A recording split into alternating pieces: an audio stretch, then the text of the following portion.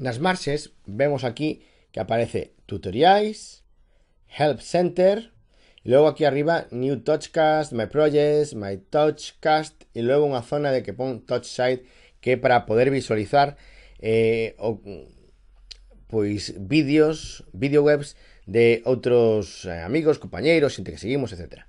Bueno, tutoriais aquí abaixo. Moi doado. En que consiste isto? Pois a posibilidade de eh, ver agrupados por temáticas diferentes tutoriais, iso sí, en inglés, que fixeron pois os creadores de Touchcast. Vou a pechar, pecho co este dedo para non meterme diante da cámara. Aquí estamos. Help Center, pois é un pouco máis do mesmo.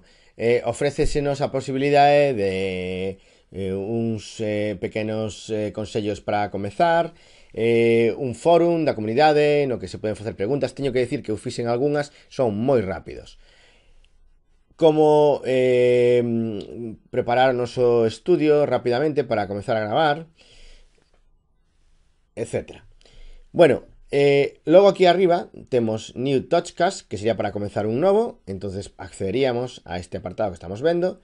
My Projects, eso que Bueno, pois aqueles proxectos que comezamos a gravar e que exportamos ou non e que están aquí por se queremos volver a editalos, finalizalos, eliminalos, etc. Que queremos eliminar un, un proxecto que xa temos feito? Tan doado como marcar un... Perdón, non. Temos que darlle antes aquí este lápiz que vemos aquí. Vamos a la... Marco e vedes que ofreces aquí a posibilidade de borrar, duplicar, compartir, compartir, ¿qué faríamos? Bueno, pois danos a posibilidade de compartir este proxecto con alguén para que o remate de editar ou continúe ou faga o que queira na, na súa tableta. Está moi ben. É dicir, que eu ao mellor comezo a facer uns vídeos na miña aula e ten que rematar un profesor. Doulle a compartir e sería tan fácil como compartilo cun eh, compañeiro. Vedes aquí que hai unha un password e, bueno, xa estaría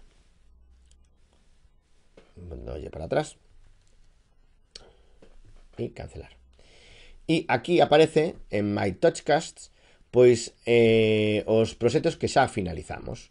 Eh, vemos como sería a súa visualización final. Por exemplo, aquí temos o amigo Félix, profe de Historia, que estaba aquí neste vídeo probando nos seus inicios Touchcast. podríamos ver como se visualiza, ahora mismo teño con audio baixado, e vemos como cando mete unha imaxe, nos podemos clicar na imaxe, aumentar o tamaño, podríamos seguir vendo a explicación de Félix, aquí está, cambiar o punto, ou volver a explicación del, etc. E cando pongo outra imaxe, o mesmo.